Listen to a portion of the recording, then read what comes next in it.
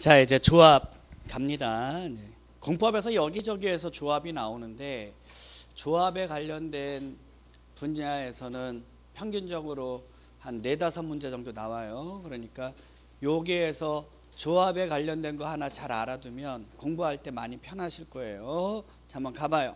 조합을 설립하려면 도시개발구역에 토지 소유자 7명 이상이 거기다 줄거 놓으면 돼요. 토지 소유자 7명 이상이 자 정관을 작성해서 정관 작성 거기에다 줄거 놓으시고 정관은 조합의 회칙이에요. 정관이 뭐라고요? 조합의 회칙. 그거를 뭐라고 한다고? 정관. 정관을 작성해서 자 지정권자에게 조합 설립 인가를 받아야 한다. 거기에다도 줄을 딱 꺼놓으시면 되겠네. 자 인가 받은 사항을 변경할 때도 변경하기 전에 뭐 받아야 되고? 인가. 맞잖아 앞뒤가 똑같은 게 공법이니까. 다만 경미한 사항을 변경하는 경우에는 뭐만 하면 된다고? 신고. 경미한 게 뭐냐? 주된 사무소 소재지 변경하고 공고 방법 변경하는 거죠. 예, 그래서 공고 방법의 공 주된 사무소 소재지의 주. 됐어요? 그러면 이게 뭐예요? 공주. 음, 공주는 뭐만 하면 된다고 왜요? 공주니까 음, 그렇게 외우는 거예요. 예. 공주는 뭐만 하라고요? 왜요? 아, 공주니까요. 이해하셨어요? 예. 조합 설립 시 동의 갑니다. 예, 조합은 전부 환지 방식일 때만 하라 그랬지. 그러면 면적 3분의 2, 청수 2분의 1 이렇게 동의 얻어야 되겠죠. 그러면 이 면적 계산할 때는 국공유지 포함 제외. 포함. 공유토지는 1인. 뭘또 포함, 당연히 포함되죠. 공유토지는 1인. 구분 소유자는 오케이. 똑같이 적용되는 거야. 이해하셨어? 예, 그게 옆에 동의자 수 산정 방법에 똑같이 나오는 거죠.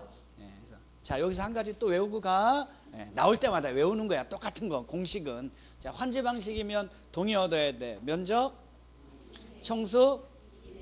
자, 면적 계산할 때 국공유지, 청수 계산할 때 공유 토지는 1인, 구분 소유권은 오케이, 좋았어. 처음에는 거기까지만 하자고. 자, 등기 가봐요. 조합은 무엇으로 하라고? 법인, 법인에다 동그라미 치고, 즉 공법상 비영리 사단법인의 성격을 갖는다 이렇게 돼 있네요. 법인으로 해야 되기 때문에 인가받았다고 성립되는 건 아니지. 자, 법인도 권리 능력을 가지려면 민법 시간에 배웠네. 뭐 해야지?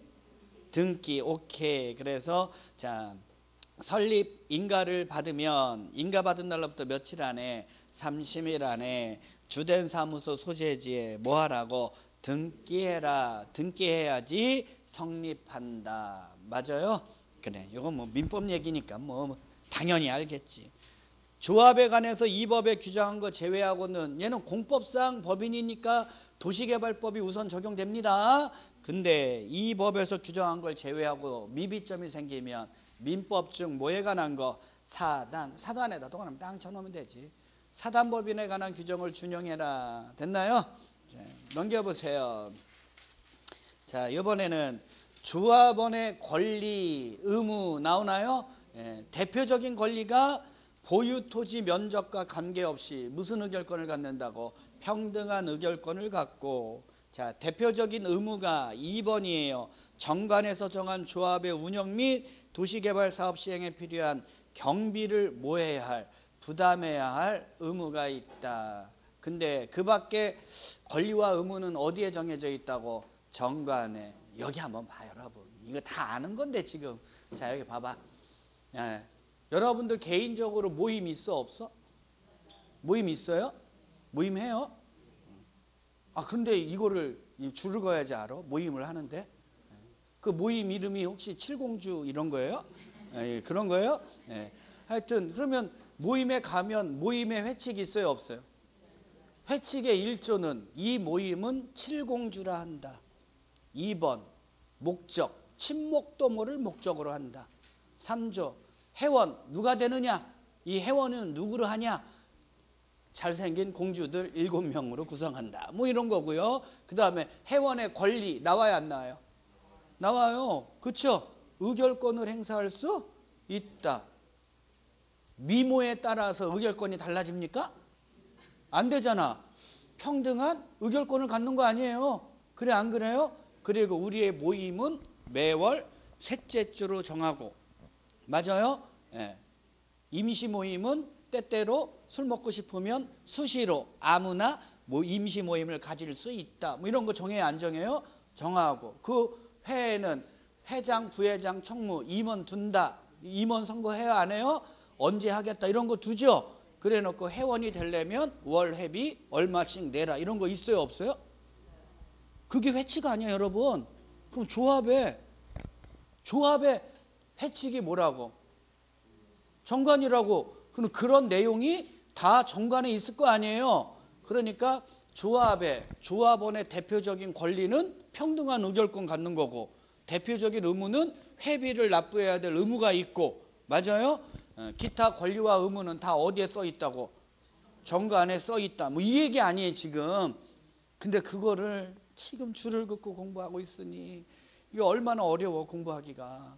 그냥 한번 생각을 해보면 편하잖아. 그래 안 그래요? 에이, 괜찮아 줄 거. 아유 뭐. 성격이 줄 거야지 공부하는 거면 줄 거야지 뭐. 그거 못하면 또 억눌려 갖고 또 공부도 제대로 못해. 조합원 갑니다. 자, 조합의 조합원은 도시개발구역 안에 누구를 한다고? 토지 소유자. 토지 소유자에다 줄을 딱 거놓고 위에다가 써놔. 당연. 당연. 당연. 당연도 써줘야 돼? 당연. 당연. 여기다 써줘야 되겠네. 당연. 당연. 당면이 아니라 당연. 당연 조합원. 강제적으로 조합원 된다는 거예요. 토지 소유자면 동의했건 동의하지 않았건 무조건 되고 조합에 뭐가 된다? 조합원이 된다. 이렇게까지 얘기해 줬어요. 그리고 조합에는 임원을 둔다. 임원 있어야 되겠죠? 조합장 한 사람, 이사, 감사 둡니다. 근데 임원은 조합의 임원은 의결권을 가진 누구여야 되고 조합원이어야 하고 조합원 중에서 임원을 선임하라는 얘기고요. 자, 그 다음에 정관이 정하는 바에 따라 어디에서 선임하라고 총회, 총회에다 동그라미 총회에서 선임한다. 임원의 겸직 금지. 임원은 다른 조합의 임원 직원을 겸하면 된- 되고 안 되고 안 되고 같은 조합의 다른 임원이나 직원 겸하면 되고 안 되고 안 된다 이런 얘기야. 자, 임원은 결격 사유가 있으면 안 됩니다. 자, 임원은 제정신 있는 사람이 임원 돼야지. 예, 이상한 사람이 임원 되면 된다 안 된다 안 돼요. 그래서 첫 번째 금치산자, 한정치산자, 미성년자. 요거 민법에서는 다르게 표현하고 있죠 지금. 근데 공법은 아직 안 바뀌었어요. 왜요? 공법이니까. 얘기인지 아시겠어요? 그래서 1번 금치산자, 한정치산자 또는 미성년자를 공법에서는 뭐라고 얘기하냐면 또라이라고 합니다. 누구라고 한다고요? 또라이. 그러니까 또라이는 임원이 될 수 있다고 없다고? 오케이 좋아요. 두 번째는 파산 선고를 받은 자로서 복권되지 아니한 자. 복권되지 아니한 자. 얘기인지 알죠? 그 다음에 금고 이상의 형을 선고받았다. 여러분 금고가 뭐야 금고 금고형이 금고형부터가 수감하는 거야. 깜빵에 이렇게 사는 거 있죠? 그게 금고야. 금고 이상부터가 깜빵에 산다는 얘기야. 그러면 금고 이상의 형이다 그러면 지금 수감됐다는 얘기지. 근데 금고 이상의 형을 선고받고 집행이 끝났다. 맞아요? 그 다음에 집행을 받지 않기로 확정됐다. 뭐 사면 받았다 이런 얘기잖아. 그럴 그렇게 된 후 몇 년? 2년이 지나지 아니한 자. 이 자들은 임원이 될 수 있어요, 없어요? 없어요. 그럼 여러분 지금 내가 수감됐는데 집행이 종료됐어. 그 다음에 집행을 받지 않기로 확정됐어. 그러면 지금 교도소 나온다는 얘기 아니야. 그래 안 그래요? 그러면 밖에서 누가 있지? 부모님? 그렇게 경험이 많어? 어떻게 알아 그거를? 경험 많구나 너.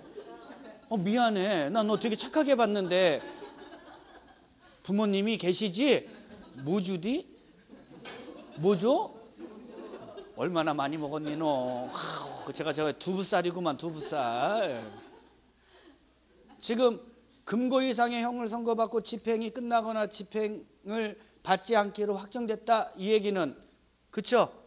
깜빵문 나와서 뭐 먹었다는 거예요? 지금 두부 먹었다는 거예요? 두부 먹었다고 해서 바로 온몸에서 재수의 피가 없어지는 건 아니에요. 몇 년 지나야 된다? 2년 정도는 지나야지 보통 사람이 되는 거지. 이해하셨어요? 그래서 3번은 어떻게 외우냐? 두부 먹고 2년 지나지 아니한 자. 애야, 2년 지났니? 아니 아직 안 지났어? 아유 제발 아유 무섭네 쟤 아이고 예, 깜짝 놀랐네 자 4번에 보면 금고 이상의 형을 선고받고 형의 집행 유예 기간 중에 있는 자 이렇게 돼 있죠 예, 집행 유예 기간 중에 있으니까 그냥 두부 계속 먹는 중 이렇게 얘기합니다 그래서 요 네 가지는 공법의 공식이에요 여러분 결격사유 됐어요? 자 그럼 외우면 또라이 두 번째 복권되지 아니한 자 세 번째는 두부 먹고 2년 지나지 않는 자, 두부 먹고 있는 중. 있는 중. 두부 먹고 있는 자, 그럼 이상하잖아. 두부 먹고 있는 중. 자, 이제 다시 한번 외워봐. 이거 줄줄이니까 또라이, 복권되지 아니한 자, 두부 먹고 2년 지나지 아니한 자, 두부 먹고 있는 중. 자, 여자들은 항상 결격사유야. 여러분, 누구의 결격사유라고? 아니 조합원 그러면 안 돼. 조합원은 토지 소유자면 또라이가 토지 소유자야. 그래도 걔는 조합원이야. 이해하셨어? 예? 이해하셨냐고? 두부 먹고 아직 2년이 안 지났어. 그래도 걔가 토지 소유자면 조합원이야. 다만 그 조합원은 좀 무섭겠지. 그래 안 그래요? 좀 무서울 수가 있죠. 하지만 조합원은 결격 사유가 있다고 없다고 또라이든 두부 먹고 있는 사람이든 따지지 않아. 토지 소유자면 당연 조합원이라고 써놓으라 그랬잖아. 근데 조합원 중에서 임원을 선임하는데 절대 임원이 될 수 없다는 거예요. 임원이 책임자가 이해하셨어요? 예. 결격 사유는 임원한테만 있는 거예요. 예, 그래요. 잘했어요. 근데 아시잖아 그런 거 모임 같은 거 많이 갔다 보면 괜히 멀쩡한 사람 임원 시켜줘 그래 놓고 그 사람을 그렇게 욕한다? 다른 사람들이 그래 안 그래? 욕해서 그 사람을 스트레스를 엄청나게 받게 해. 그래 갖고 임원된 사람이 일하다가 그만 또라이가 돼버린 거야. 멀쩡한 사람이 한 모임에 가서 임원돼서 일하다가 또라이가 돼버렸다니까? 됐어요? 그러면 다음날 임원의 자격을 상실해 얘는. 이해하셨어요? 예, 그래서 위에 보면 자 조합의 임원으로 선임된 자가 결격 사유에 해당하게 됐어요. 그러면 그 다음 날 임원의 자격을 뭐 한다고요? 상실한다. 그러니까 임원 뽑았으면 좀 많이 도와줘. 이해하셨어? 예, 괜히 이런다. 얼마나 웃긴지 알아? 예. 아우 당신이 임원하라고 그러면 아우 내가 무슨 임원하냐고 나는 안 한다고 막 이래요. 저 사람 임원 시키라고. 그래갖고 그 사람을 임원 시켰어. 근데 그게 못마땅한 거야. 그래갖고 그 사람이 임원하면 그냥 막 좋아. 그래갖고 그 사람을 또라이로 만들어버려. 그래갖고 다음날 자격을 상실시킵니다. 그리고 나서 다른 사람이 아유 그러면 당신이 그거 임원하라고 아 나 또 안 한다고. 그리고 저 사람 시키라고 그래갖고 또 그 사람 또 또라이 만들어. 아유 그러면 돼안 돼? 에이, 그러지 좀마좀 그거 그 구체하잖아. 그래 안 그래요? 예, 아유, 참 재밌어 그런 거 보여. 자, 6번에 보면 6번에 4번 갑니다. 조합장 또는 이사 있잖아요. 조합장 또는 이사에 자기를 위한 조합가의 계약이나 소송에 관해서는 누가 조합을 대표한다고요? 감사가 조합을 대표하는 거예요. 원래 조합장이 조합을 대표하고 조합장의 업무를 도와주는 사람이 이사고 그 다음에 그 조합의 회계 업무 담당하는 게 감사잖아요. 근데 조합장과 이사가 자기 자신을 위해서 조합과의 계약이나 소송을 건다 이런 얘기예요. 그럴 때는 조합장하고 이사가 조합을 대표하면 안 되죠. 그럴 때는 누가 조합을 대표한다고? 감사가 조합을 대표한다. 자, 이 7번에 보면 총회에 나오죠. 총회는 최고의 의사 결정 기구. 총회는 반드시 두는 거예요. 예. 그래서 중요한 사항들 다 조합원이 참석해서 의결하는 겁니다. 넘겨보세요. 근데 대의원회, 대의원회 의결권을 가진 조합원의 수가 몇인 이상이면 100인, 조합원의 수가 100인 이상이면 총회의 권한을 대행하기 위해서 거기다 줄 그시면 돼. 총회의 권한을 대행하기 위해서 대의원회를 두어야 한다, 둘 수 있다.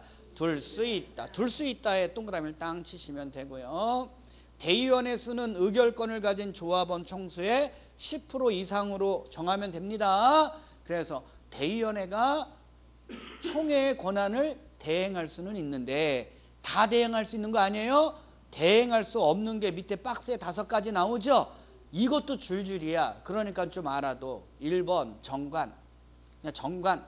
정관에만 동그라미 치면 돼요. 2번 개발 계획 밑줄 짝. 3번 환지 계획 밑줄 짝. 4번 임원. 임원의 동글뱅이. 그 다음에 5번 조합의 합병 해산 이렇게 돼 있죠? 조합 거기에다 동그라미를 치시면 돼요. 조합 합병 해산했을 때 조합. 그래서 대의원회가 대행할 수 없는 거, 자, 두 글자로 가, 갈게요. 정관, 임원, 조합. 이런 거 함부로 못 합니다. 그 다음에 개발 계획하고 무슨 계획? 환지 계획은 조합이 대행할 수 있다, 없다? 없다. 대의원회가 할 수 없다는 거예요. 그럼 얘네들은 반드시 뭘 거쳐서 총회 의 의결을 거쳐라 이런 얘기가 되는 거죠. 조합원은 경비를 부담해야 될 의무가 있다고 그랬죠.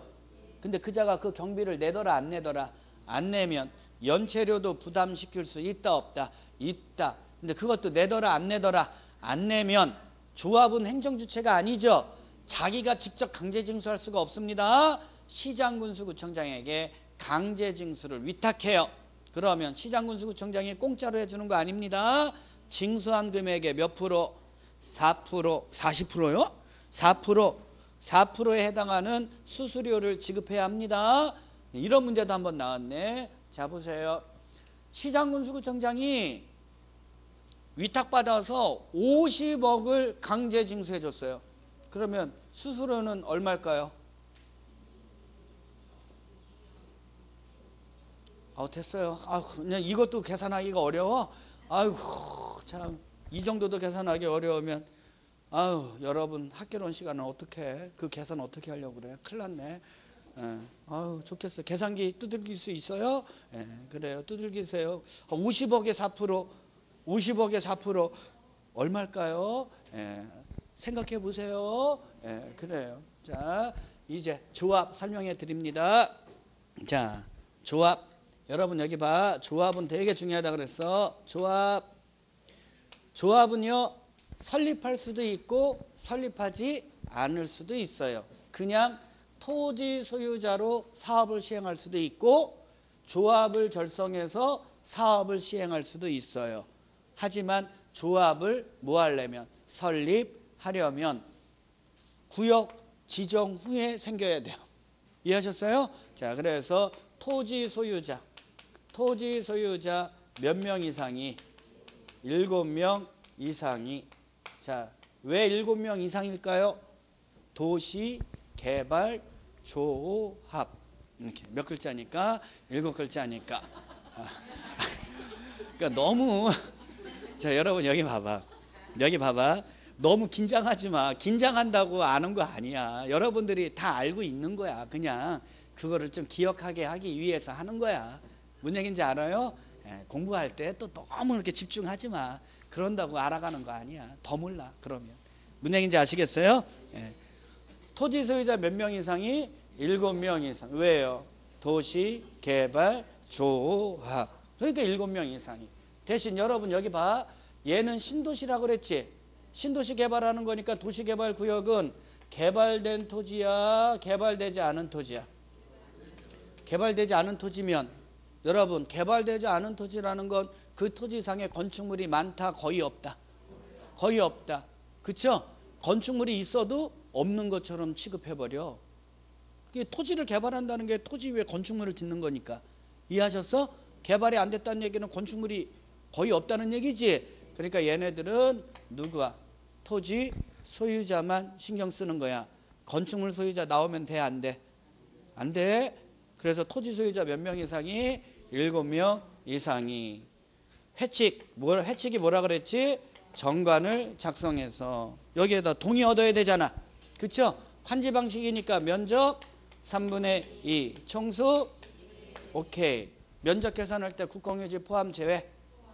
총수는 공유 토지는 구분 소유권은 오케이. 그래서 지정권자에 뭘 받으라고? 설립 인가. 인가 받았다고 성립되는 거 아니지? 인가 받은 날로부터 30일 안에 주된 사무소 소유대지에 뭐 하라고? 등기. 왜? 얘는 무엇으로 해야 되니까? 법인으로 해야 되기 때문에 등기해야지 성립되는 거야. 이해하셨어? 자, 그 다음에 여기에 동의했건 동의하지 않았건 도시개발구역 안에 있는 누구라면 토지 소유자라면 당연히 조합원이 돼. 그래서 이자들은 평등한 의결권을 갖고 맞아요? 비용을 납부해야 될 의무가 있어요, 없어요? 기타 조합원의 권리는 어디에 써 있다고? 정관에 다 있는데 이해하셨어요? 그 다음에 이런 조합원들로 구성되는 총회 있어야 돼, 없어야 돼? 있어야 되고 그러면 이 조합을 이끌어갈 임원을 둬야 돼, 안 둬야 돼? 임원 있어야 돼, 여러분. 됐어요? 조합 합장한 사람 이사감사 둔다 이런 얘기죠. 근데 임원은 제정신 있는 사람 돼야지. 또라이가 되면 된다고 안 된다고? 임원은 결격 사유가 없어야 된다는 거예요. 결격 사유 우리가 외운 거 아시지? 줄줄이야 또라이 복권되지 아니한 자 두부 먹고 2년 지나지 않는 자 두부 먹는 중 외우셨어? 예, 그래서 멀쩡한 자가 임원 됐다가 또라이가 됐어 그러면 다음 날 자격을 상실하고 이해하셨어? 예, 그래서 웬만한 건 다 총회를 개최해서 총회에서 중요 사항 의결해야 되는데 맞아요? 예, 그럴 때마다 조합원들 다 모이세요. 그러면 조합원들 귀찮아하잖아. 그래서 조합원의 수가 몇 인 이상이면 100인 이상인 조합은 됐어요? 총회의 권한을 대행하기 위해서 누구를 둘 수 있다고? 대의위원회를 두어야 한다, 둘 수 있다. 둘 수 있다. 맞아요? 예. 근데 이 대의위원회는 여러분 다 대행할 수 있는 건 아니야. 대행할 수 없는 거 중요한 것부터 가. 자, 여기 봐. 이거야. 이거야. 여기. 되게 쉬워. 개발 계획 대행하면 돼, 안 돼? 자, 여기 봐. 조합 자체를 없애는 거, 합병하는 거, 지 맘대로 하면 돼, 안 돼? 안 돼. 그 다음에 정관 하면 돼, 안 돼? 안 돼. 임원, 지 맘대로 임원 자르고 그러면 돼, 안 돼? 아, 당연히 안 되지. 됐어요? 그 다음에 조합은 환지 방식이라 그랬지. 환지 방식 하려면 환지 계획 되게 중요하거든. 환지 계획 지 맘대로 하면 돼, 안 돼? 안 돼. 항상 이것도 줄줄이야. 알아둬. 좋아요. 잘했어요. 조합에 관련된 거 이 정도 깔끔하게 정리하실 수 있겠어? 예, 여기서 나온 건 절대 틀리면 안 돼. 예, 좋았어. 아주 잘했어. 자, 이제는 시행자까지 정해졌으니까 시행자는 이제 모작성에서 구체적인 사업 시행계획, 구체적인 사업 시행 계획서 작성해야지. 그게 뭐라고? 실시 계획. 그럼 여러분 아무렇게나 작성하면 안 되지. 상식이야. 얘에 부합되게. 실시 계획은 뭐에 부합되게? 맞지? 방향 정해주는 개발 계획에 부합되게 작성해야지. 맞아요. 누가요? 시행자가. 이해하셨어? 근데 여러분 여기 봐봐. 도시개발구역 지정하면 지구 단위 계획구역으로 의제되니까 맞아요? 지구 단위 계획은 지구 단위 계획 구역에는 뭐가 필요해? 지구 단위 계획이 필요하잖아. 그렇잖아. 근데 지구 단위 계획은 구체적 계획이지. 그러니까 개발 계획에 들어갈 수 있다 없다? 없다. 어디에 들어가야 된다? 실시 계획에 들어가야 한다. 이거 아실 수 있겠어요? 아, 이거 앞에 공부 잘했으면 그냥 이렇게 오는 거예요, 여기는. 이해하셨어? 잘했어. 그리고 작성했으면 뭘 받아야 돼? 인가. 누구한테? 지정권자.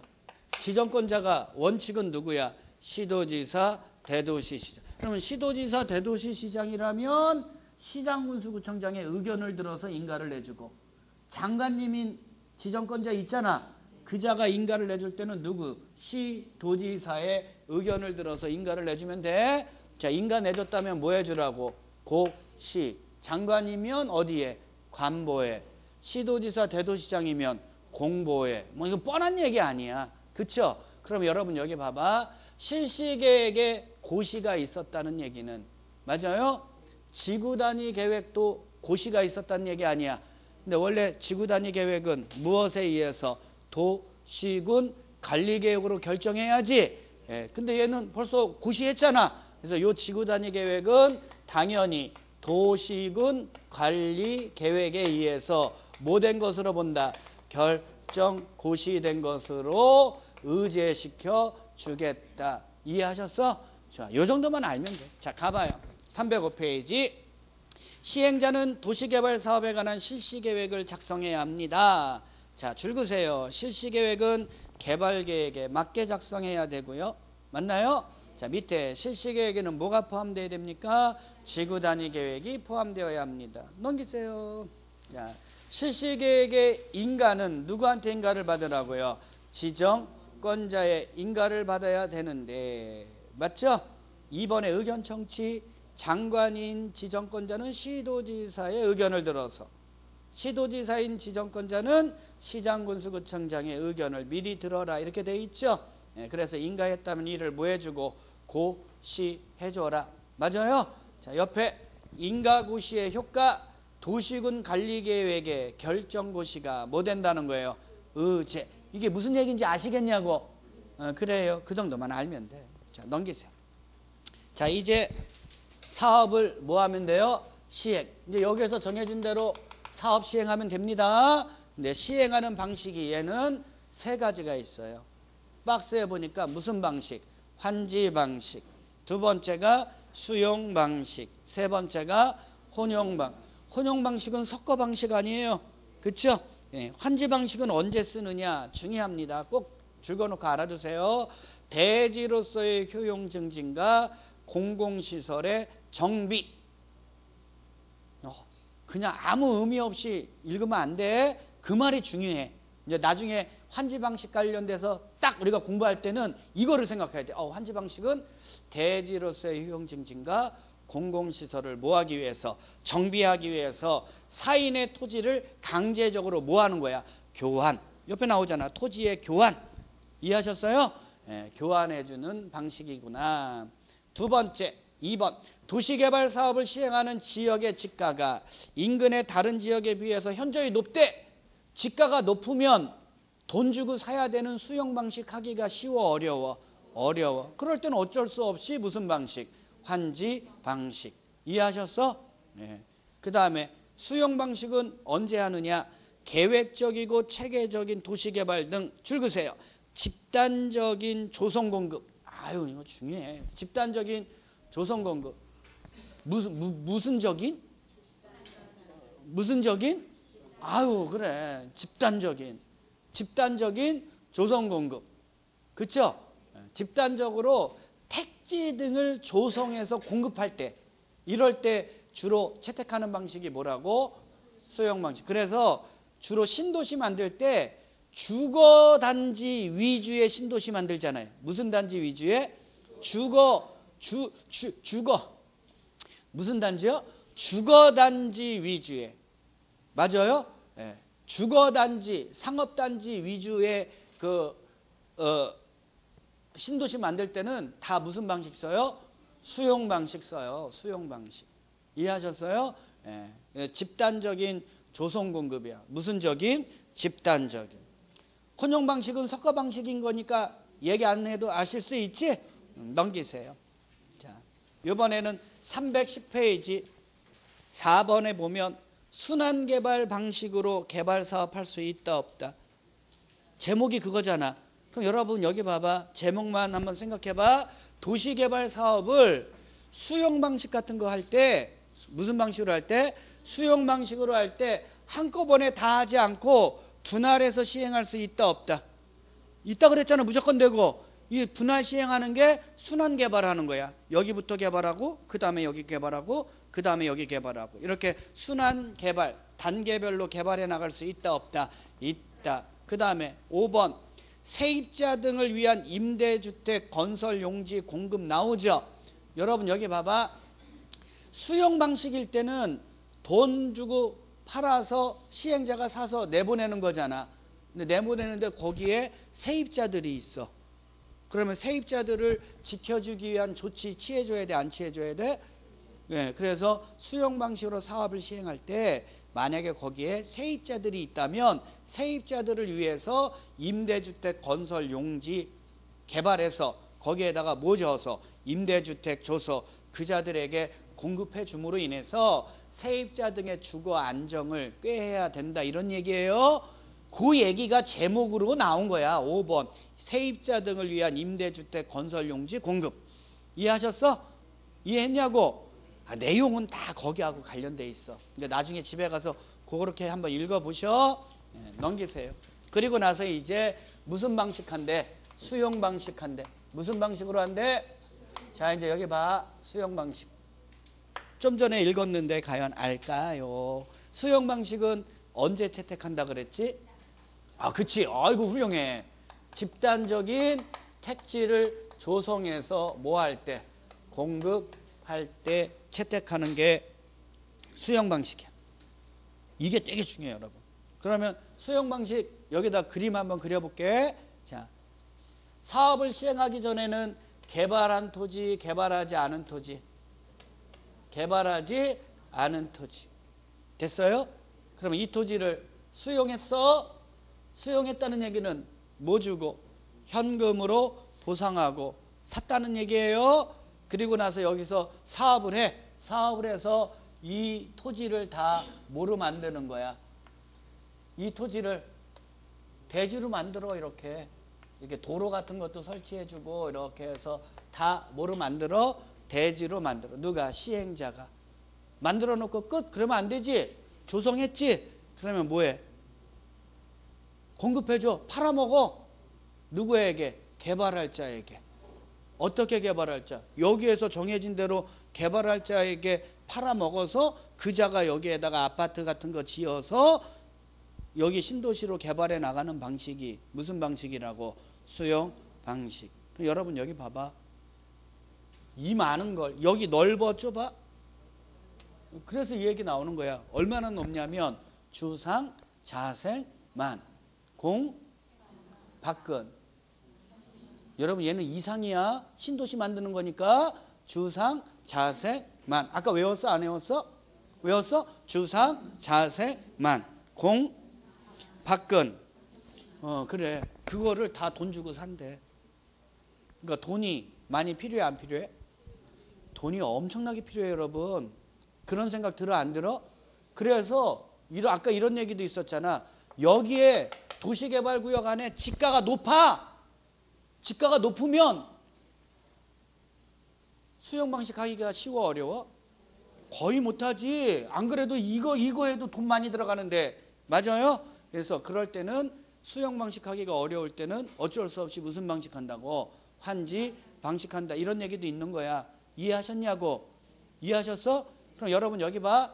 지난 시간에 우리가 했었던 거야. 수용할 때 타인 토지 출입할 수 있어 없어? 관계 서류 공짜로 볼 수 있어 없어? 공시송달할 수 있어? 국공유지는 함부로 처분하면 안 돼? 여기에 당연히 들어와 여러분. 근데 이거는 여기에서는 언급을 안 해. 당연히 들어오는 건데 그거 외에도 여기 봐. 그거 외에도 도시개발 사업을 수용할 때는 집단적으로 수용해야 되기 때문에 수용할 때 돈이 많이 필요하다 안 필요하다. 그래서 여기에서는 우리가 주로 뭘 배우느냐? 도시개발 사업의 시행자가 수용을 할 때 수용 대금을 마련하기 위해서 지원해 주는 조치가 있다 없다. 있다. 그거를 열심히 공부해야 돼. 이해하셨어? 좋아. 그러면 여기 봐봐. 자, 도시개발 사업은 공익 사업이지. 그러니까 시행자는 수용 사용할 수 있어 없어? 있어. 있어요? 공적 시행자든 민간 시행자든 다 수용 사용할 수 있어요? 단 조합은 조합은 돼 안 돼? 왜? 조합은 환지 방식으로만 할 때 시행자가 될 수 있으니까. 조합은 전부 환지 방식일 때만 시행자 될 수 있다고 그랬잖아, 아까. 그래서 까먹었어? 아니죠? 네, 그래요. 그러니까 조합은 여기 나온다, 안 나온다? 수용 방식 공부할 때는 조합 생각하면 안 돼. 예, 근데 자, 그 중에서도 민간 시행자 있어 없어? 민간 시행자는 돈 되게 많이 필요해야 되잖아. 아무나 아무나 할 수 없어요. 그래서 민간 시행자가 수용할 때는 면적 3분의 2 이상을 뭐하고 뭐하고 소유하고 그 다음에 총수 얼마 2분의 1 이상의 뭐를 얻어야 돼 동의를 얻어야지 수용할 수 있습니다 뭐 이런 거는 당연하잖아 그 다음에 여기 보세요 얘는 사업 인정 고시 공치법상 사업 인정 고시가 의제되는 시점이 있어요 자 근데 만약에 여러분 도시군계획 시설 사업처럼 실시계획 고시가 있었을 때 사업 인정 고시가 의제됩니다 그러면 이 정도 되면 땅값이 엄청나게 비쌀 거 아니야. 그런 생각 들어 안 들어? 들어요? 그러니까 얘는 이때 사업인정고시를 의제시켜줘서 이때 수용권을 부여해버리면 자금의 압박이 너무 심하다. 이해하셨어? 자, 갑니다. 그래서 우리 아까 개발 계획 수립할 때 수용 방식일 때는 수용 대상이 되는 토지 등의 무엇을 세부 목록을 개발 계획에 포함하라고 그러죠? 이해하셨어요? 자, 얘는 이때 언제? 이때 토지 등의 뭐가 세부 목록이 토지 등의 뭐가 세부 목록을 뭐했을 때 고시됐을 때 공시법상 사업인정고시가 있는 것으로 본다. 즉, 이 날을 저 앞에 있는 날을 기준으로 무엇을 인정하겠다? 수용권을 부여해주고 맞아요. 이 날을 기준으로 보상가를 산정하겠다라는 얘기예요. 이해하셨어요? 이거 되게 중요해요. 그래도 토지 소유자 입장에서는 억울해 안 억울해? 억울해. 그래서 재결 신청해야 되겠죠? 재결을 신청하는 기간은 연장된다 이런 얘기죠. 언제로? 사업 기간 내. 이거는 똑같아. 사업 기간 내로 연장될 것이다. 이해하셨어요? 가장 중요한 건 이거를 알아두는 거예요. 이거를. 이해하셨어? 자, 가봅니다. 수용 사용의 주체 모든 사업 시행자는 수용 사용할 수 있고요. 근데 민간 시행자가 수용을 하려면 면적 3분의 2 이상에 해당하는 토지를 뭐하고 소유하고 토지 소유자 총수 2분의 1 이상에 해당하는 자의 뭐를 얻어야 돼요? 동의를 얻어야 돼요. 이 경우 토지 소유자의 동의 요건 산정 기준일은 이날 아니에요, 이날. 이날이죠? 이날은 이날에 바로 도시개발구역을 뭐한 날 지정 고시일을 기준으로 하겠다라는 거까지 알아두면 좋고요. 3번 수용 사용에 관해서는 공시법 준용하는 거죠. 근데 이 법의 특례 사업인정고시가 의제됩니다. 줄거 놓으셔야지 토지의 세부 목록을 모했을 때 고시 땅 줄거 놓고 별표 쳐놓으면 되고요. 재결 신청 기간은 사업 시행 기간 종료일까지 사업 시행 기간 종료일이니까 사업 시행 기간 내 아닙니까? 그 안에만 하더라. 이해하셨어요? 자, 그래도 그래도 얘는 돈이 많이 들어간다 안 들어간다? 돈이 들어간다. 그래서 자, 옆에 토지 상환 채권으로 무엇으로 토지 상환 채권으로 수용 대금을 지급할 수 있다 없다? 있다. 갑니다. 시행자는 토지 소유자가 원하면 줄짝 끄셔야 돼. 토지 소유자가 뭐하면 원하면 그러면 어디에다가 원해야 돼? 토지 소유자가 뭐하래? 토지 소유자가 뭐 하래? 원하래. 원에다가 원을 쳐야지 원을. 토지 소유자가 원하니까. 토지 소유자가 뭐 하면 원하면 원하면 거기다 동그라미를 치라고. 토지 소유자가 뭐 하면 원하면 매수 대금의 얼마 일부 매수 대금 일부 줄 짝어 놓고 일부에 대한 동그라미 일부를 지급하기 위해서 자 사업 시행으로 조성된 토지 건축물로 상환하는 채권 이게 뭐야? 토지 상환 채권을 발행할 수 있다. 민간 시행자 있죠? 민간 시행자는 사업이 끝나고 나서 조성된 토지로 돌려주는 건데 민간 시행자가 중간에 사업하다가 부도나면 큰일 나잖아. 부도나도 끄떡없도록 민간 시행자라면 뭐까지 쓰라고요? 보증, 지급 보증을 받은 경우에만 발행할 수 있다. 그것도 알아두시고 민간 시행자는 뭐까지 써야 돼? 지급 보증.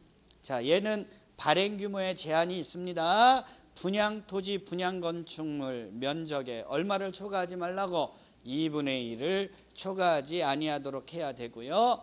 예외적으로 인정하는 거 아니에요, 얘는. 그러니까 발행 계획 작성해서 지정권자에 뭘 받고 승인을 받고 현금 대신 나중에 사업이 조성된 후에 토지로 돌려주는 거니까 그 기간 동안 이자 붙여줘야 돼, 안 붙여줘야 돼? 붙여줘야지. 이율은 발행 당시 은행 금리 수준에서 누가 정해주면 돼? 발행자가 정한다. 알아두시고 2번 토지상한 채권은 무슨 증권으로 한다고? 김영식. 김영식에다가 동그라미를 빵 치면 되고요. 자 넘겨보세요. 토지상한 채권은 이전할 수 있다 없다? 있다. 팔아먹을 수 있다는 거예요. 근데 얘는 취득자의 성명과 주소를 토지상한 채권 원부, 원부에다 동그라미, 원부에 기재하여 줄 것을 요청해야 되고 취득자의 성명과 주소가 어디에 채권, 채권 동그라미, 채권에 기재되지 아니하면 취득자는 발행자 및 제3자에게 뭐하지 못한다고 대항하지 못한다. 대항하지 못한다에다 줄을 딱 거놓으시면 돼요. 됐나요?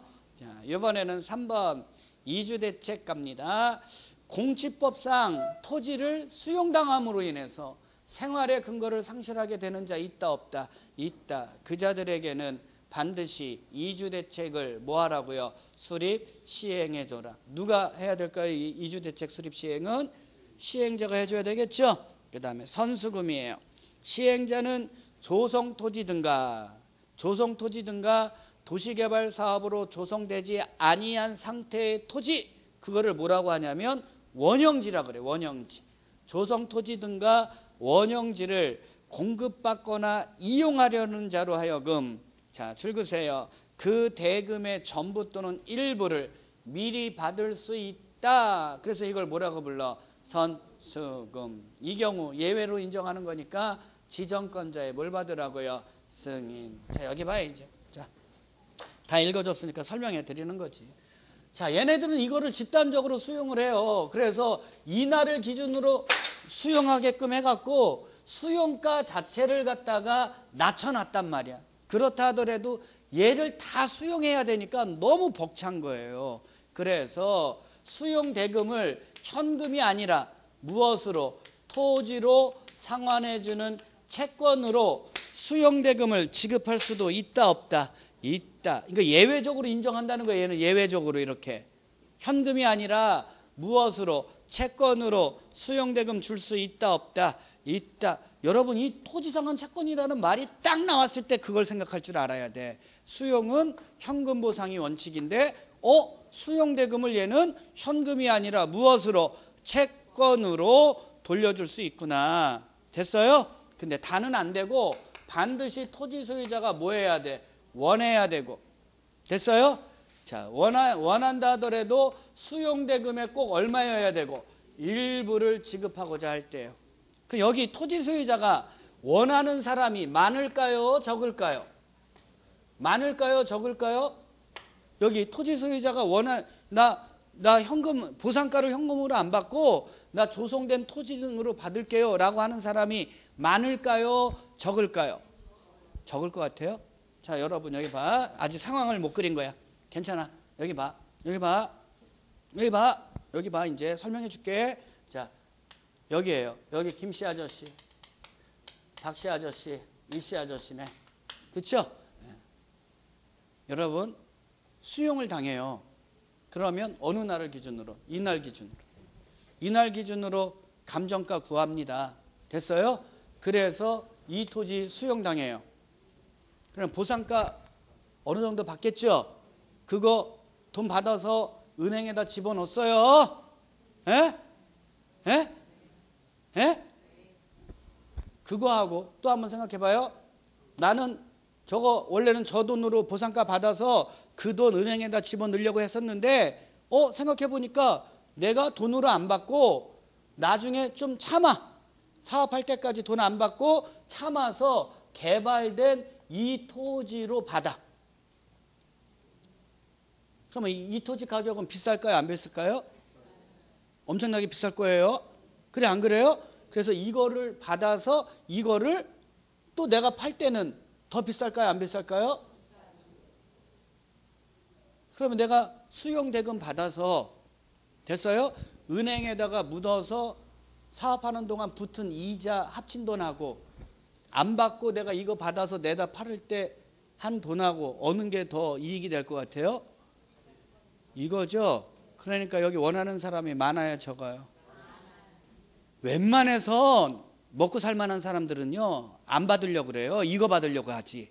이해하셨어요? 그래서 원하는 사람이 많아서 많다고 해서 그 사람들한테 다 줄 수는 있다 없다 없다 그래서 분양 토지 분양 건축물에 얼마를 2분의 1을 초과해서 발행하면 된다 안 된다 그렇게 됐다가는 원하는 개발을 할 수가 없으니까 이해하셨어요? 이해했냐고요? 근데 민간 시행자면 믿어 못 믿어 못 믿으니까 못까지 쓰라고 보증까지 쓰고 됐어요? 얘는 예외적으로 인정하는 거니까 지정권자에 뭘 받으라고 승인을 받아 이해하셨어요? 됐냐고요? 그 다음에 내가 지금 당장 돈 받는 거 포기한 거 아닙니까? 포기하고 이거 받는다는 얘기 아니에요. 그러면 이 기간 동안 이자 붙여줘야 돼, 안 붙여줘야 돼? 아, 당연히 붙여줘야 돼. 그래서 이율을 여기에다 정하는 거예요. 이율은 이거 발행할 그날 당시, 여기 당시에 금리 수준에서, 일반 시중 금리 수준에서 붙여준다고 안 붙여준다고. 아, 붙여줘야지 저런 거하고 쌤쌤이 되는 거 아니에요. 이해하셨어요? 누가 정해주면 돼? 발행자가 정해주면 되지. 수용대금 주기 위한 거니까. 이해하셨어? 그 다음에 얘는 반드시 무슨 증권이야? 김영식 증권이에요. 김영식. 토지상한 채권에 취득자의 성명이 써 있어, 안 써 있어? 써 있는 김영식이어야 된다고요. 이해하셨어요? 근데 얘는 양도성을 인정해 팔아먹을 수 있어, 없어? 있다는 거예요. 얘는 양도를 할 수가 있어요. 양도를. 현금처럼 활용할 수도 있다, 없다. 그러니까 얘가 얼마나 좋은 거냐면 원래 제가 원하면 됐어요?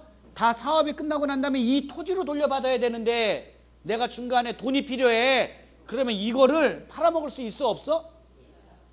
팔아먹을 때 어느 정도는 비싸게 팔, 팔아먹을 거 아니에요. 현금처럼 활용할 수 있다고요. 그만큼 이게 좋은 거라니까 여러분. 됐어요? 근데 항상 김영식 증권 이거는 똑같아 공법 어디나 김영식 증권의 처분에 따른 명의 변경은 무슨 변경은 명의의 변경은 김영식 증권의 그 소유자 명의 변경 있죠? 명의 변경은 항상 원부에다 해야 돼요. 뭐에다 하라고요? 원부에다 하라고 맞아요? 그 다음에 명의 변경은 무슨 변경은 명의 변경은 원부에다 반드시 해야 돼요. 그 다음에 김영식이니까 그 채권 있죠? 채권 자체에다도 취득자의 성명 써줘야 돼, 안 써줘야 돼?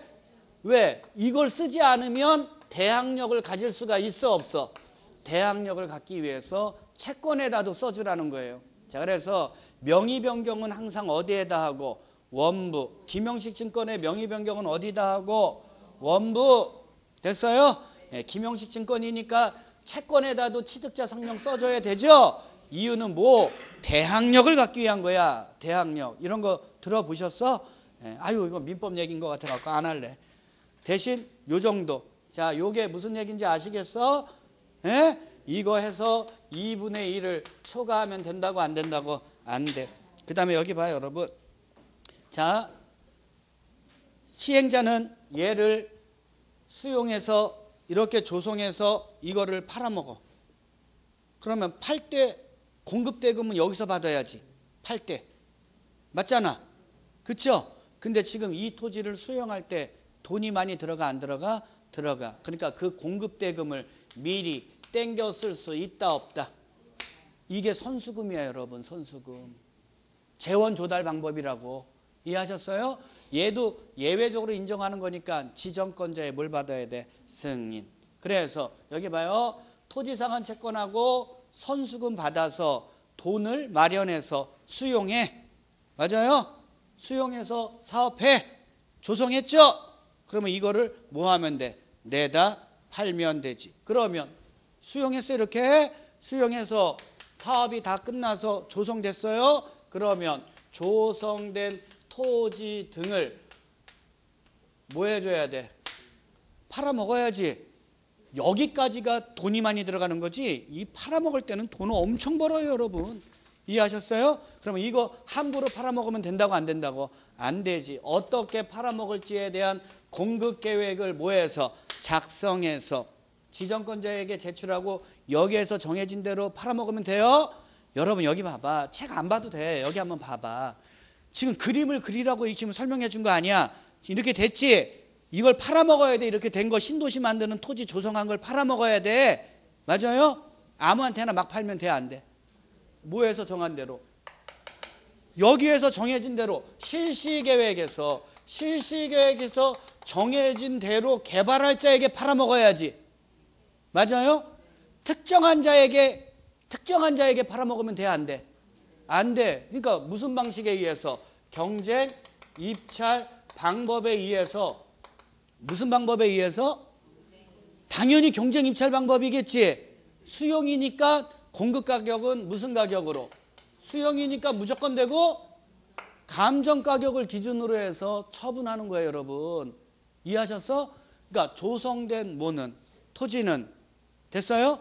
뭐에서 정한 대로 실시 계획에서 정한 용도대로 개발할 자에게 무슨 방식에 의해서 경쟁 입찰 방법에 의해서 뭘 기준으로 감정 가격을 기준으로 처분하는 게 원칙이다. 이해하셨냐고? 이해하실 수 있겠어요? 네, 그럼 먼저 그거부터 공부해. 자, 좀 몇 장 넘겨보면, 자, 이번에는 317페이지예요. 조성 토지 등의 공급 계획 제출 나와요. 시행자는 조성 토지 등을 공급하려면 조성 토지 등의 공급 계획을 모해서 작성해서 지정권자에게 뭐 하라고요? 제출해라. 이해하셨어요? 그랬을 때 질 아래 공급 조건 나옵니까? 자, 조성 토지 등을 뭐에서 정한 대로 실시 계획에서 정한 용도에 따라 팔아먹을 것. 이해하셨어요? 넘겨보세요. 공급의 방법은 원칙이 무슨 방식이라고? 경쟁, 입찰 방법. 됐어요? 근데 예외적으로 추천 방법 된다, 안 된다? 된다. 추천 방식 해볼게요. 국민주택 규모 이하의 주택. 거기다 줄딱 꺼놓으시면 되고. 그 다음에 2번에 공공택지. 3번에 330제곱미터 이하의 단독주택 용지 줄 거 놓으시고. 그 다음에 4번에 보면 공장 용지 줄 거 놓으시면 돼요. 그러면 줄여볼게. 1번. 1번 국민주택. 네 글자로 줄여요.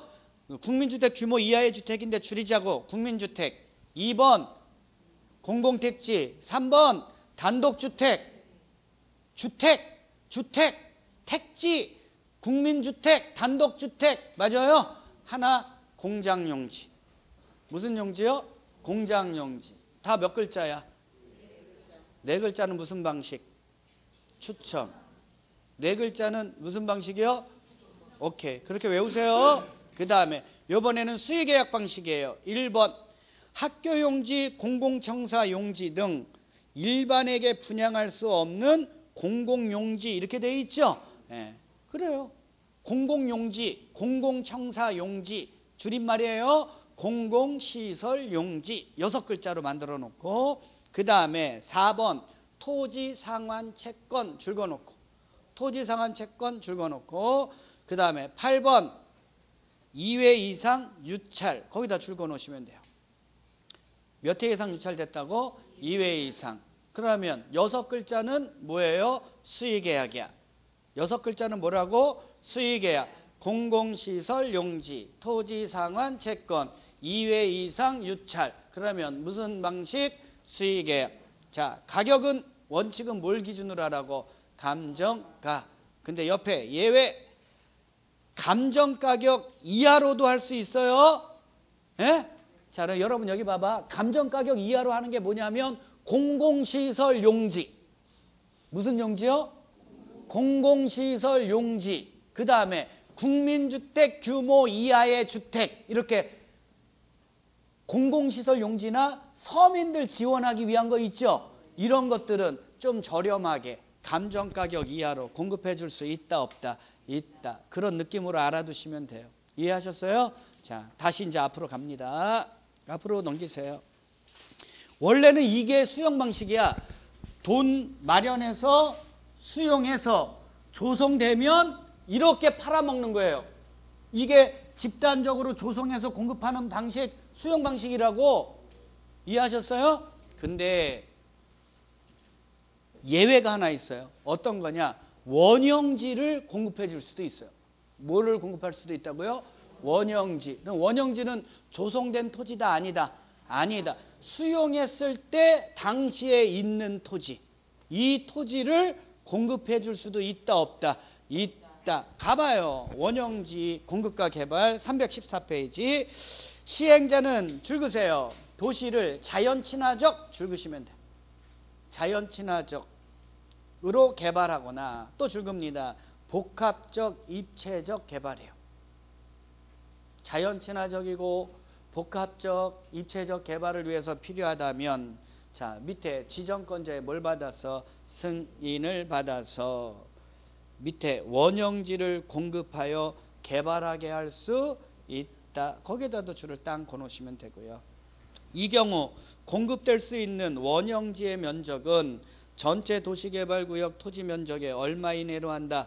3분의 1 이내로 한정 거기에다도 밑줄자 거놓으시면 돼요. 됐나요? 자요. 자, 이번에는 2번에 보면 옆 페이지 원형지 공급계획 나오는 거죠? 예, 원형지 공급계획 작성해서 지정권자에게 승인을 신청해서 승인받아서 공급해라 이런 얘기예요. 근데 밑에 원형지의 매각 제한 나오나요? 원형지의 매각 제한 나와요? 아, 그거 이전에 제일 위에 보면 박스 나오죠? 원형지를 공급받을 수 있는 자들이 나와요. 그럼 여러분 여기를 한번 봐. 자연 친화적이고 입체적이고 복합적인 토지 개발을 하려고 그래. 이렇게 하는 사람이 민간인이 그렇게 하려고 그래. 공적인 자가 그렇게 하려고 그래. 공적인 자죠. 그래서 일반적으로는 자, 원형지 개발자로 지정받을 수 있는 자들은 공적인 자들입니다. 1번 국가 지자체, 두 번째 공공기관, 세 번째 지방공사. 이처럼 공적인 자들이 원형지 공급받을 수 있어요. 근데 5번 하나는 좀 외워두셔야지. 원형지를 학교 동그라미, 학교나 공장 동그라미, 학교나 공장, 학교 공장에다 동그라미 쳐놔요. 학교 공장 등의 부지로 직접 사용하는 자도 원형지 공급받을 수 있다 없다 있다. 그럼 여러분 이 자들이 여기 봐요. 이 토지를 공급받는 거 아니야? 이 토지를 공급받는 거 아니야? 원형지를 그러니까 얘 싸요 비싸요? 조성 토지 대비 얘 이 토지 대비 이거 싸요 비싸요? 엄청 싸지. 그래서 그 토지 공급받아서 자연 친화적이고 입체적이고 복합적인 개발하라는 얘기인데 맞아요? 그 자들이 그 토지를 다른 용도로 팔아먹으면 돼 안 돼? 그래서 매각 제한 받는 거예요. 7알에. 원형지는 매각에 제한을 받습니다. 원형지 개발자는 단 국가 지자체는 믿어요 못 믿어요? 그러니까 포함 제외. 제외. 원형지 개발자는 10년 범위 안에서 대통령령으로 정하는 기간 안에는 원형지를 매각하면 된다 안 된다? 안 된다. 그래서 밑에 보면 다 다음에 기간 중 먼저 끝나는 기간이 되는 겁니다. 첫 번째가 원형지에 대한 공사 완료 공고일로부터 몇 년? 5년. 원형지 공급 계약 체결일로부터는 몇 년? 10년. 요 기간 중 먼저 끝나는 기간 안에는 원형지 매각하면 된다 안 된다? 안 된다. 좋아요. 넘기세요. 그러면 이제 요번에 중요한 게 뭐냐? 음, 317페이지 317페이지 보면 원형지의 공급 가격 나오나요? 자, 원형지의 공급 가격은 개발 계획이 반영된 줄 그세요. 원형지의 무슨 가격에? 감정 가격에 시행자가 원형지에 설치한 기반 시설 등의 무슨 비? 공사비. 공사비에다 동그라미 감정 가격 플러스 공사비를 더한 금액을 기준으로 시행자와 원형지 개발자가 모여서 협의해서 결정해라. 이렇게 돼 있죠? 됐나요? 그 정도 알아두시고요. 어, 하나를 못 찾겠네. 음. 그럼 여러분 여기 한번 봐봐. 원형지 개발자를 선정해야 되잖아. 그쵸? 근데 주로 원형지 개발자는 주로 누구라고? 공적 주체. 맞아요? 단 한 사람은 예외. 학교나 공장 등의 부지로 직접 이용하는 자는 예외죠. 공적 주체 중에서 원형지 개발자 선정해야 돼요. 경쟁 입찰 방식일까 수의 계약일까? 수의 계약. 수의 계약일 거 아니야. 그래서 원형지 개발자 선정은 원칙이 무슨 계약이다? 수의 계약인데 학교나 공장 등으로 직접 이용할 자는 공적인 게 약간 떨어지지. 얘네들은 경쟁 입찰 방식이에요. 얘네들은 무슨 방식이라고? 경쟁 입찰 방식. 근데 2회 이상 유찰됐어. 몇 회 이상 유찰됐다고? 2회 이상 유찰됐다. 아, 그럼 공법에서는 유찰됐다 그러면 주로 몇 회 이상이야? 2회 이상 유찰됐다는 얘기는 그거를 공급받을 자가 많다 적다 없다 그럴 때는 무슨 계약? 수의 계약으로 간다. 아시겠어요? 자, 한번 정리 한번 해봐. 이제 다 읽어줬으니까. 자, 수용 방식으로 할 때 원형지라는 걸 공급할 수도 있다 없다? 있다. 왜냐? 자연 친화적 도시 개발. 입체적 도시 개발이에요. 이해하셨어요? 자, 따라서 원형지는 자, 어떻게 공급할지에 대한 공급 계획 작성해야 돼, 안 해야 돼? 해야죠. 여기 뭐 조성 토지 할 때도 어떻게 공급할지 공급 계획 작성해야 안 해요. 하듯이 여기도 공급 계획 작성해서 맞아요? 예. 누구한테 지정권자. 얘는 예외적으로 인정하는 거니까 지정권자에 뭘 받아라? 승인을 받아서 원형지 공급하는데 자, 원형지는 이 토지 다 그러면 안 된다 이거죠? 전체 도시개발구역 토지 면적의 얼마? 3분의 1 이내다. 원형지로 공급할 수 있는 토지의 범위는 전체 면적의 얼마 이내다. 3분의 1. 여러분 여기 봐. 되게 쉬워.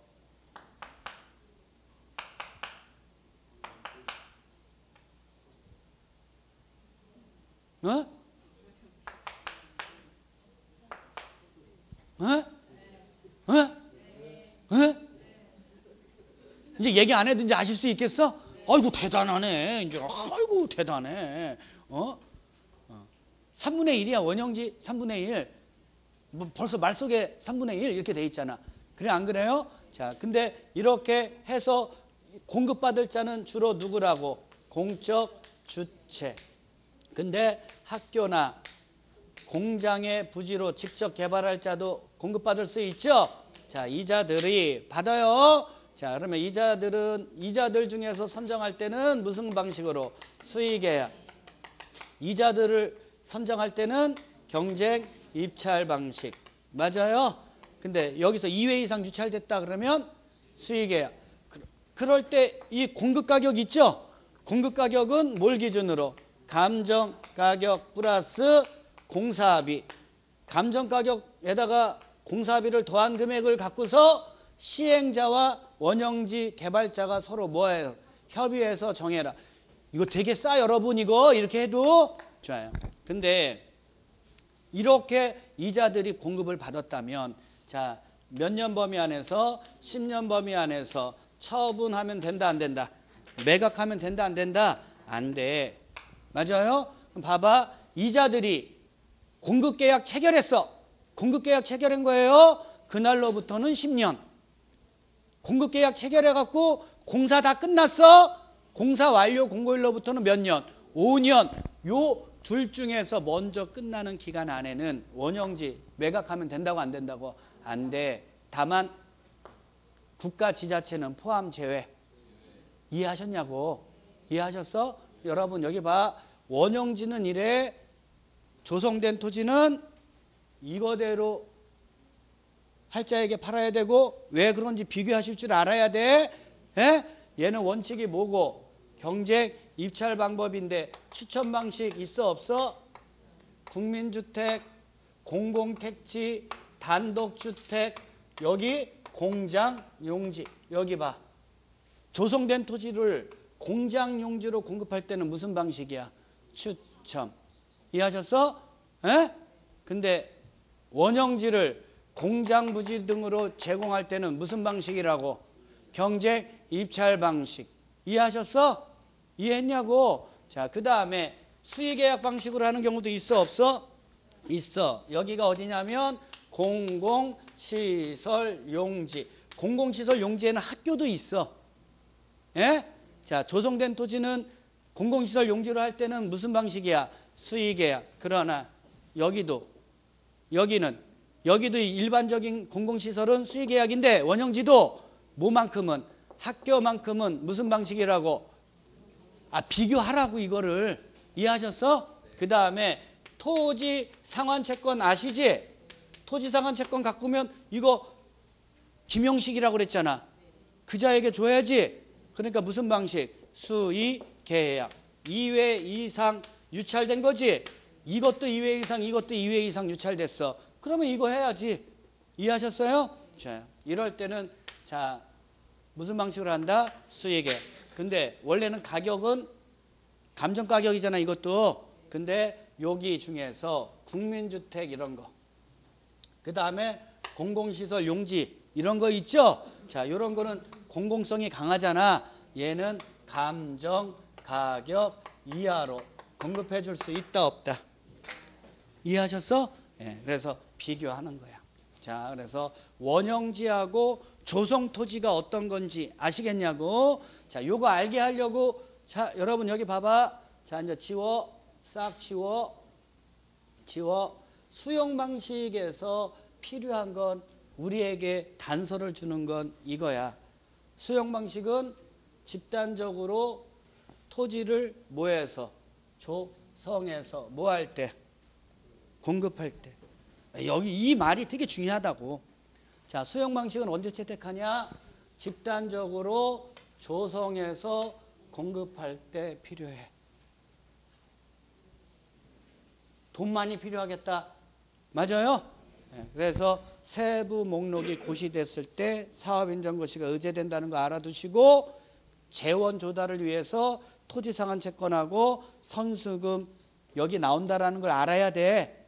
이해하셨어요? 예?